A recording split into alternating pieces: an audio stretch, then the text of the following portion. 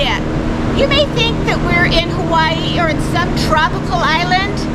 Nope. We're in the middle of the Arizona desert at the Biosphere 2. Now, if you're wondering where Biosphere 1 is, you're standing on it. Planet Earth.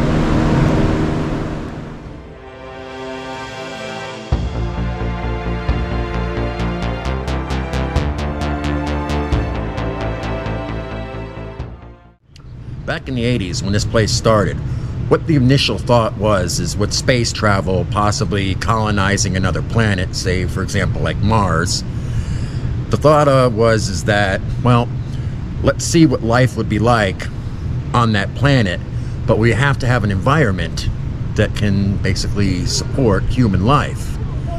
So the experiments have gone on, hasn't been perfect, but someday we might be there.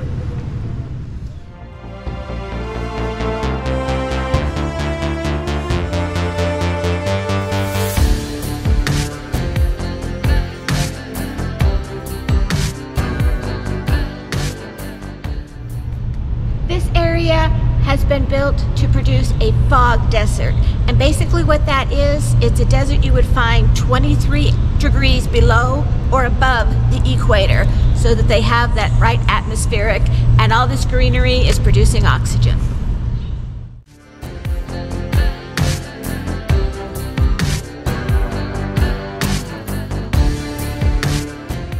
That big round building you see behind me, that is called the lung. There are actually two of them here at the biosphere. Inside that building is this big diaphragm that goes up and down like a regular lung breathing in a human.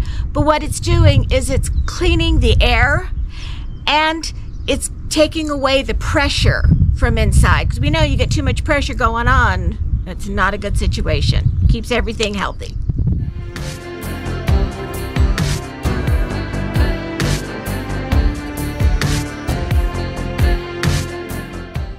Over here is the orchard where they grew their vegetables and their fruits to keep them going. If we come over here, this is coffee that they grew. You know, so you can get that morning pick me up.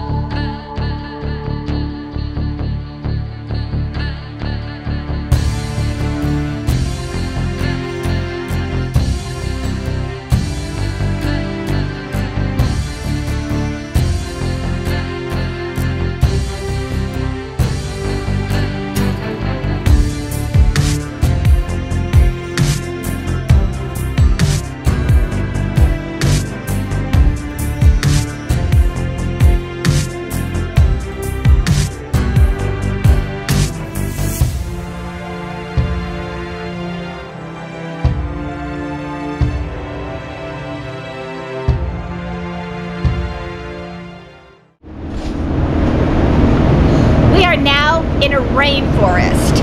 They've got plants that grow over 91 feet tall. They've got all sorts of things that sustain. Normally you'd see cheetahs and monkeys and all that. Of course they can't sustain that here, but they've also built a rainforest type mountain over there.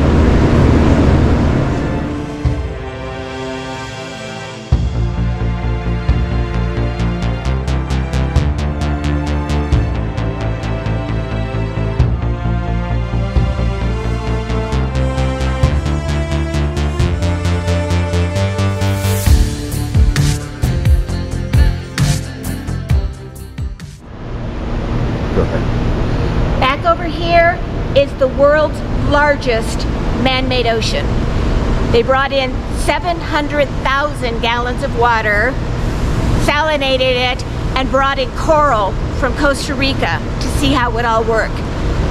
The experiment was a huge success, did great until later Columbia bought this project and they wanted to see the effects of CO2. So they started doing a lot of CO2, carbon dioxide into it, which caused an algae to grow over the coral and eventually killed it.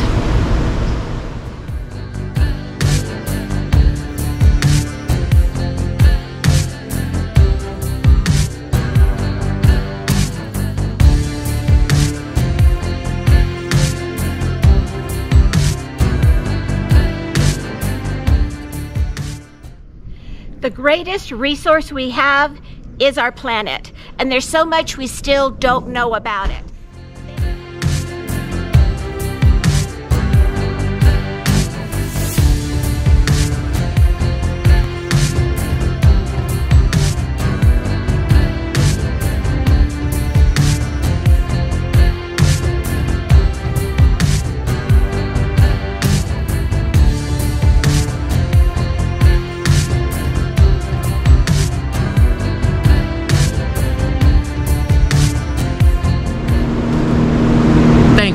Thank you, everybody. Thank you so much for spending your time with us. If you like what you saw, please hit that like button. We'd also greatly appreciate it if you would subscribe and join our family. Don't forget to ring that bell for notification of future videos. Thank you.